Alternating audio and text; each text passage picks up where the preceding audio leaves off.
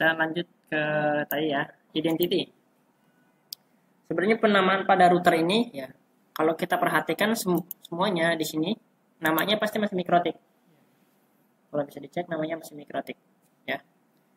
Penamaan mikrotik router ini sebenarnya bisa dikatakan penting, bisa dikatakan juga enggak. Dia akan terlihat enggak penting kalau cuma ada satu router dalam perusahaan. Kalau router cuma satu ya enggak, enggak, enggak masalah, mau dinamain atau enggak. Tapi kalau routernya banyak, kayak contoh kasus kayak gini.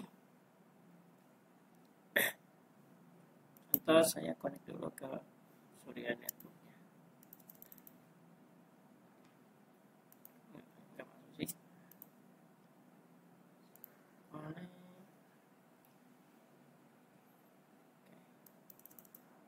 Nah, contoh kalau kayak gini, bisa dilihat semua namanya apa? Mikrotik. Gimana caranya supaya kita mastiin. Contoh kita dalam sebuah perusahaan kita punya 10 router atau 5 router. Nama routernya mikrotik semua gimana cara bedain? Kita mau nyeting di line produksi. Ya ada mikrotik di produksi ada mikrotik di gudang ada mikrotik di office. Ternyata yang trouble di office. Nah gimana caranya kita bedain? Antara mikrotik gudang mikrotik produksi sama mikrotik office pakai IP pertama bisa. Kalau posisi terburu atau urgent kan kita nggak hafal juga IP-nya nah, cara kedua kita namain per mikrotik. Kita bikin penamaan di mikrotiknya.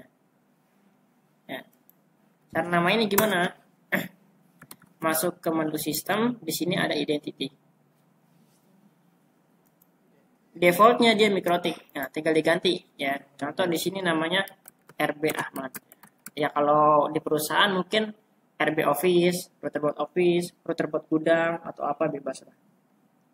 Tinggal di oke, okay, nanti di sini berubah.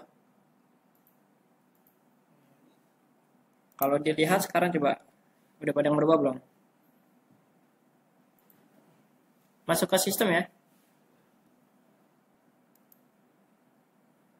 Langsung masuk ya.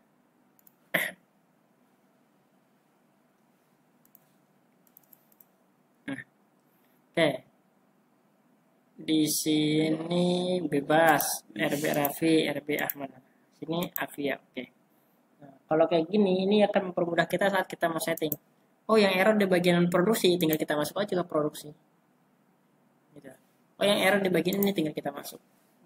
Kalau saya best practice biasanya saya simpan kayak ini. Ini saya simpan tuh. Ya, saya patokannya di user. Nah, ini yang di tempat kerja ya tinggal kita kita mau connect ke server mana tinggal kita klik aja nanti dia masuk. Kalau saya best praktiknya saya simpan.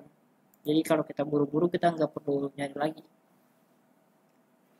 Oke okay, next